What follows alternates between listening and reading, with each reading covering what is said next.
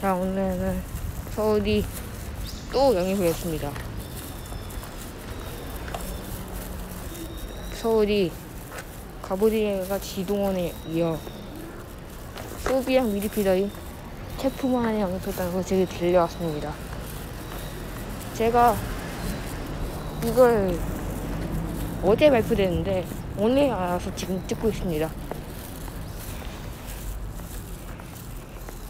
호주 출신 수비형 미드필더 미드필더인 체프만에 영입했고요. 계약 기간은 1년 반입니다.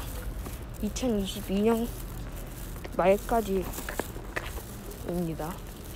아, 말까지래. 그 여름 이적 시장까지 완전 이적을 했고요.